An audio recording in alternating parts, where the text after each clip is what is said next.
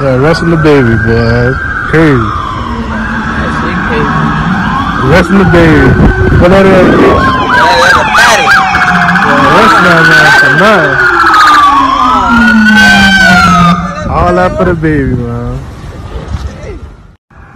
Now I know all you females that love DaBaby. I know he be turning you guys on. I would never leave my girlfriend around DaBaby. Guys, if you're leaving your girlfriend around DaBaby, you're asking for her guts to be rearranged. But I read this story why he got arrested. He beat up some guy and he threw apple juice on him. But I did a little bit of deeping on why he, you know, beat up the guy. Apparently, oh my gosh. And this is why if you're booking DaBaby, make sure he, he has his money.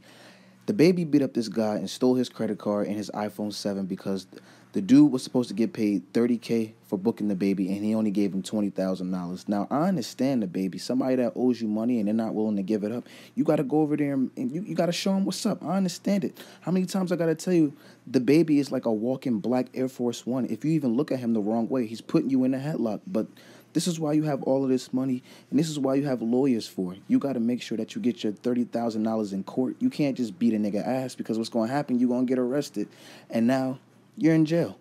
But it's not going to be too much of a big deal. I think he's going to get out. They say that he's not going to get like a hearing until Friday, but this is a light case. This is nothing too big. compared to the cases he was facing before. This is nothing. So I think he'll be out within this weekend, probably maybe Monday. I don't know. It's a war war going on outside, man. They're trying to get people to fight for the army. So maybe that's why he had to take a little break. But I don't know. But DaBaby, man, get some lawyers, man, and get your bread up. You don't need to be beating niggas' asses up. You're too rich for that. You got that lawyer money. You know what I'm saying? Hire you a nice little, get you a nice little attorney, man, and get that all settled out. But I understand it because people be disrespecting people. I'm gonna tell y'all a story, man. I played a dude for hundred dollars in 2K, and I still never got my money back. So I understand why DaBaby had to flip and put this nigga in a chokehold or DDT. So I get it, but. Other than that, hold your head up, DaBaby. You'll be alright. Like, comment, subscribe. What you think about the video? I'm out.